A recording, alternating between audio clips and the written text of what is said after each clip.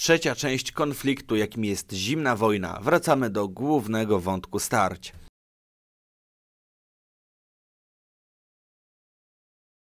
W obawie przed wybuchem nowej wojny w kwietniu 1949 roku Wielka Brytania, Francja, Stany Zjednoczone, Kanada i osiem innych państw Europy Zachodniej podpisało traktat północnoatlantycki ustanawiający nowy sojusz militarny NATO.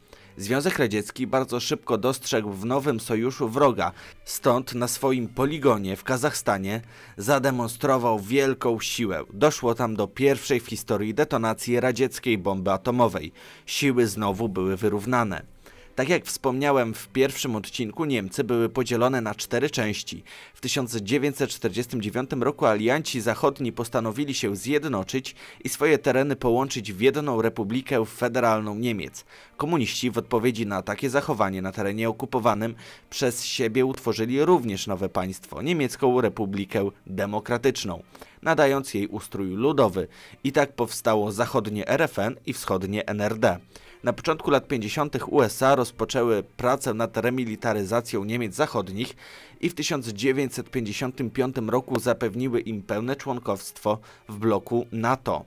Chwilę przed tym Ławreni Beria, szef NKWD, zaproponował, aby zjednoczyć Niemcy i utworzyć nowe neutralne państwo, jednakże powołanie RFN-u przez Amerykanów było radykalnym odrzuceniem tej propozycji. Media w bloku wschodnim służyły atakom na blok zachodni i krytyce kapitalizmu oraz wojen prowadzonych przez zachodnie mocarstwa. Kontrola mediów przez państwo umacniało trwanie ustroju socjalistycznego w Europie Środkowo-Wschodniej. Kraje Zachodu poprzez Głos Ameryki BBC rozpoczęły akcję propagandową w krajach bloku socjalistycznego, które szczególnie przybrały na sile po utworzeniu w 1949 roku Radia Wolna Europa, którego celem było doprowadzenie do pokojowego rozpadu systemu komunistycznego w Europie.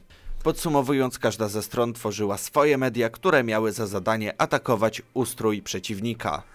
Tu rozgłośnia Polska, Radia Wolna Europa. Obecnie przypominamy Państwu, że można nas słuchać na fali średniej 417 metrów oraz na falach krótkich w pasmach 13, 16, 19, 25, 31 i 41 metrów. Konflikt przeszedł na nową płaszczyznę, gdy 20 stycznia 1953 roku miejsce Harego Trumana na fotelu prezydenckim zajął uczestnik II wojny światowej Dwight Eisenhower. Żeby było ciekawiej, dwa miesiące później, bo 5 marca 1953 roku odszedł wielki wódz Józef Stalin. Śmierć Stalina spowodowała falę histerii w propagandzie. Podczas pogrzebu w Moskwie setki osób zostało śmiertelnie poturbowanych. Powstało wiele utworów żałobnych, a niektórym miastom zmieniono nazwy. Przykładowo w Polsce Katowicom nadano nazwę Stalingród. Ówczesne województwo katowickie przemianowano na województwo stalingrodzkie. Bracia Polacy, dziś w dniu wielkiej żałoby, gdy pełne bólu serca setek milionów ludzi na całym świecie żegnają wielkiego Stalina, lud Warszawy, dając wyraz swoim uczuciom, manifestuje zdecydowaną wolę całego narodu polskiego, aby nieśmiertelne i fundamentalne zdobycze ludzkości i zdobycze naszego narodu, które przyniosła nam epoka stalinowska, aby dzieło wielkiego Stalina w sercach, umysłach i czynach naszych, czynach milionów Polaków ponieść dalej drogą, którą wytyczył nam Stalin. Stalin zmarł w pokoju samotnie, gdyż u schyłku swojego życia doszukiwał się w każdym zdrajcy, a skazany na śmierć mógł być każdy urzędnik. Nikt nie chciał do niego wejść, bo bał się, że oskarżony zostanie o próbę zabójstwa. Kiedy zmarł urzędnikom radzieckim spadł kamień z serca. To był koniec wielkiego czerwonego rosyjskiego terroru, a zarazem początek nowej wojny. Towarzysz Stalin, niezrównany organizator partii i genialny teoretyk marksizmu-leninizmu, nauczyciel, wódz, ojciec. Stalin, kontynuator wiekopomnego dzieła Lenina. Ojczyzna Stalina jest krajem braterstwa i przyjaźni. Stalin zespolił w jednej zgodnej rodzinie wszystkie narody Związku Radzieckiego. Jego troska o człowieka była wzruszająca i prosta. Moskwa, miasto Stalina, nadzieja świata. Naród nasz zawdzięcza wyzwolenie z hitlerowskiego jarzma, odzyskanie prastarych ziem polskich, utrwalenie niepodległości. Miejsce Stalina zajął Nikita Chruszczow. Ustabilizował on sytuację w Jugosławii, zaś 25 lutego 1956 roku ujawnił zbrodnie Stalina i potępił czerwony reżim.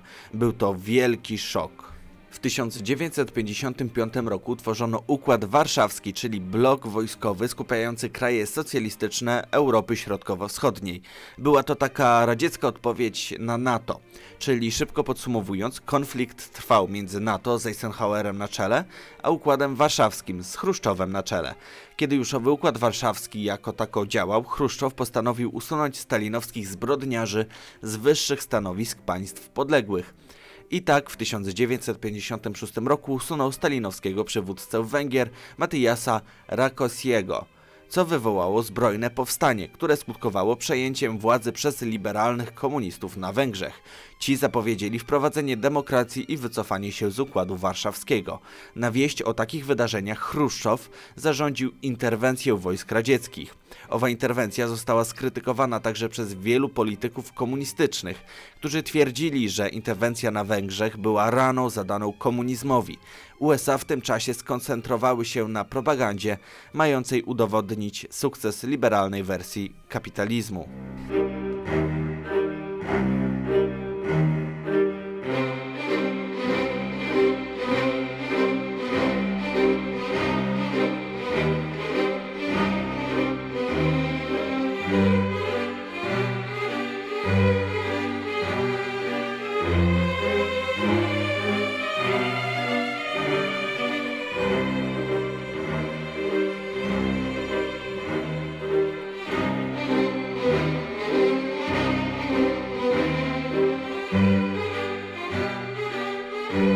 Jak pewnie pamiętacie, po stronie radzieckiej znajdował się Berlin, który też był podzielony. W listopadzie 1958 roku Chruszczow podjął nieudaną próbę włączenia wszystkich części Berlina w skład wolnego i zdemilitaryzowanego miasta. Tym samym dał USA, Wielkiej Brytanii i Francji sześciomiesięczne ultimatum do wycofania swoich wojsk z okupowanych sektorów Berlina Zachodniego. Na to oczywiście to żądanie odrzuciło. Jeśli tego mało, to po 1956 roku Związek Radziecki miał poważny problem. Był on spowodowany przede wszystkim rozbiciem sojuszu chińsko-sowieckiego. Przyczyną rozłamu między dwoma mocarstwami był konflikt między Mao Zedongiem a Nikitą Chruszczowem.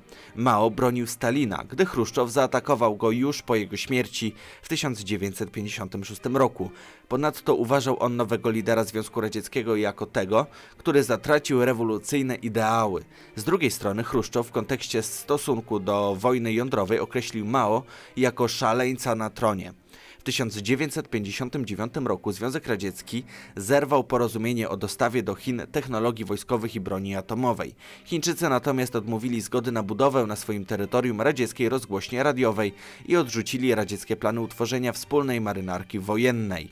Rządzona przez Envera Hodżę Albania znalazła się w podobnej sytuacji co Chiny. Do ostatecznego rozłamu Albanii doszło, gdy Chruszczow wypowiedział się za koncepcją nadania greckiemu północnemu Epirowi statusu autonomii, czemu przeciwni byli Albańczycy. Na skutek rozłamu doszło do zbliżenia chińsko-albańskiego, a zarazem oddalenia się Związku Radzieckiego i Albanii. Zarówno Albania, jak i Chiny broniły czystości marksizmu-leninizmu, atakując zarówno amerykański imperializm, jak i radziecki i jugosłowiański rewizjonizm. Lada moment miał narodzić się nowy gracz na arenie wojennej zimnej wojny. A o kim mówię? O tym w następnym odcinku.